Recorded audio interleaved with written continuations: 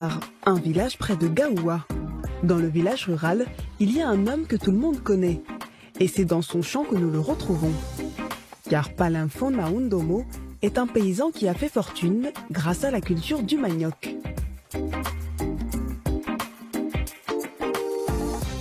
C'est du manioc qui n'est pas encore récolté et qui est prêt à être récolté. Avec le tubercule, nous, nous faisons de très bonnes affaires. De bonnes affaires, car dans cette ferme, les rendements sont exceptionnels. En moyenne, 100 tonnes de manioc par hectare. En revenu, c'est entre 1 million et 3 millions de francs CFA par hectare. On va tirer un pied et puis voir ce qu'il y a. Ah Ce pied, par exemple, a porté assez de tubercules à la hauteur des attentes du paysan. Le tubercule que ça fait Ouais. T'as vu? Ça, c'est formidable. Ouais. Waouh, waouh, waouh. Il n'y a rien à faire ici. hein. Le tubercule, hein, ça c'est la sécurité alimentaire. C'est grâce à ces rendements exceptionnels de manioc que Palinfo a fait fortune. Chaque année, il réalise entre 100 et 200 millions de francs CFA de chiffre d'affaires. Pour lui, le manioc, c'est tout simplement un secteur d'avenir qui pourrait changer la vie de milliers d'autres paysans. C'est au moins un élément clé aujourd'hui qui permettra au monde rural d'avancer et d'aller de l'avant. Et sortir de la faim et de la pauvreté. Il n'y a pas une culture où le producteur peut se faire, peut s'en sortir avec un million à l'hectare si ce n'est pas le manioc.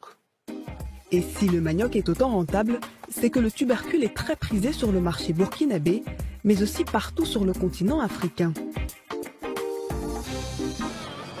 Couscous, to, gari, tapioca et surtout atiéké. Le manioc sert à la préparation de beaucoup de plats traditionnels. Avec le manioc, rien ne se perd, tout se transforme, même ses feuilles se mangent. Palinfo l'a compris depuis longtemps et c'est pourquoi il a décidé de miser sur sa culture. On ne jette rien. On utilise les tiges pour le repiquage, on utilise les tubercules pour manger. Même les feuilles, c'est consommable.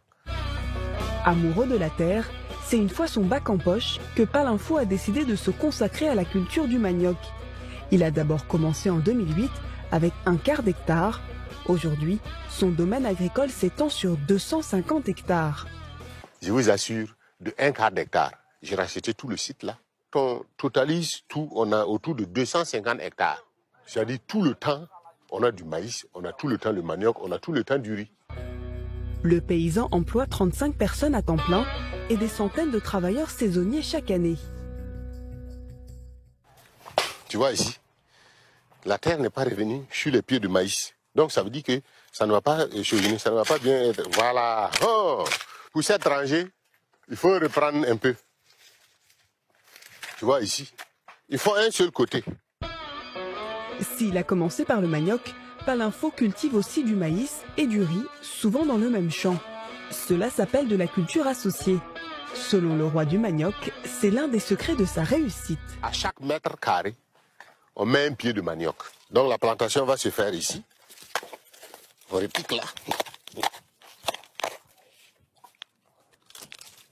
Comme ça.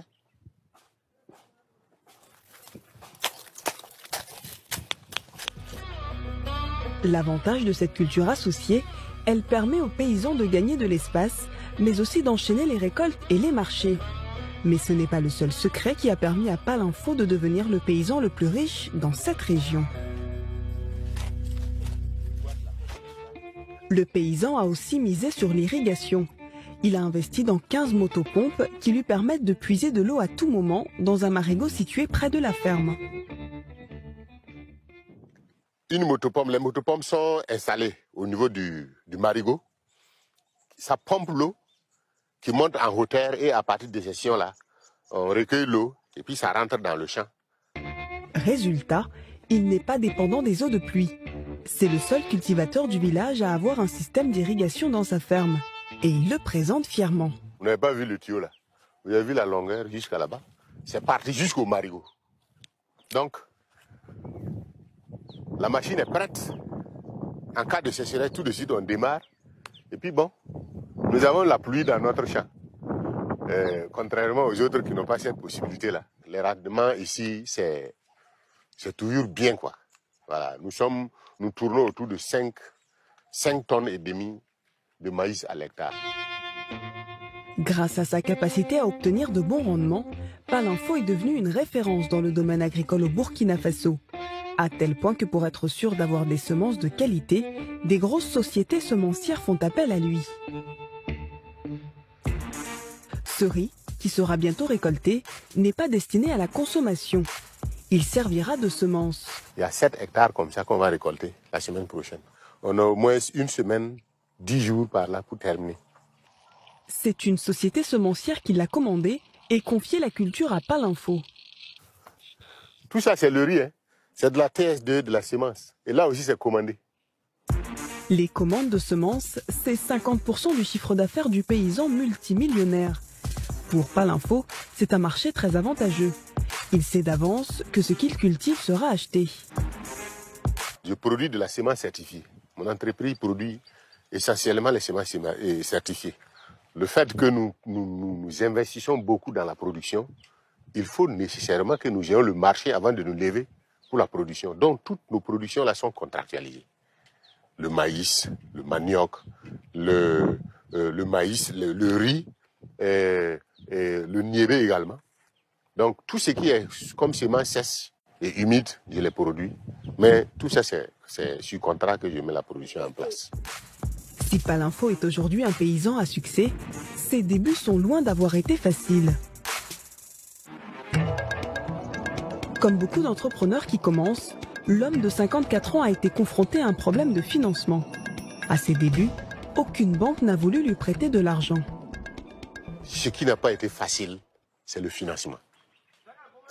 Et au début, en 2008, j'avais 3 500 Je voulais démarrer mes activités avec 7 millions.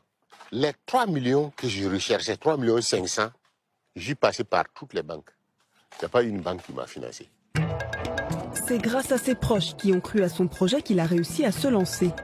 Depuis, ce sont les banques qui le démarchent. Voyez ce que M. Palinfo est devenu.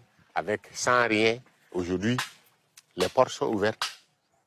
C'est comme j'avais pensé. On m'appelle pour dire Ah, M. Palinfo, est-ce que vous avez un temps pour nous? C'est telle banque. On voudrait échanger avec vous par rapport à vos activités que vous menez sur le terrain. Résultat, Palinfo n'a aujourd'hui aucune difficulté à emprunter pour investir dans de nouveaux projets. Ses affaires tournent à plein régime. Dans le sud-ouest du Burkina Faso, il est devenu un paysan indispensable. Des centaines de petits commerçants sont dépendants de sa culture du manioc.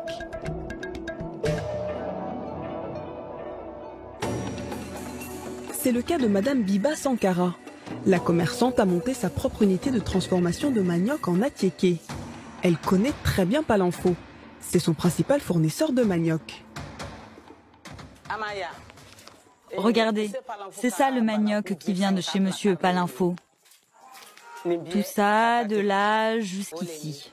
Je lui ai acheté 1 600 000 francs CFA de manioc. Tout ce qu'on voit là, ici, autour de moi. Chaque sac contient 100 kilos. Mais les liens entre Biba Sankara et Palinfo ne s'arrêtent pas là. Ils se connaissent depuis longtemps. La commerçante a vu commencer celui qui est aujourd'hui le roi du manioc au Burkina Faso. J'ai commencé à travailler dans le domaine du manioc avant Palinfo. Je partais dans un petit village acheter du manioc. Là-bas, Palinfo possédait une bascule. Moi, j'achetais et c'est lui qui se chargeait de peser le manioc. Il a donc commencé en travaillant pour moi. C'est après qu'il est allé se lancer dans la culture du manioc. La transformatrice encourage Palinfo à investir davantage dans la filière du manioc. Et justement, le roi du manioc a prévu de nouveaux projets. Grâce à l'argent du manioc, le paysan multimillionnaire a pu installer à Gawa cette unité de décortiquage de riz. Dans le sud-ouest du Burkina Faso, Personne ne l'avait fait avant lui. Là, c'est l'unité de décortiquage de riz. Une mini-viserie que nous avons mis en place. Donc, euh, en une heure, on peut sortir, euh, on peut décortiquer 750 à une tonne de riz. D'ici peu, il espère tripler sa production en investissant dans une deuxième machine d'une plus grande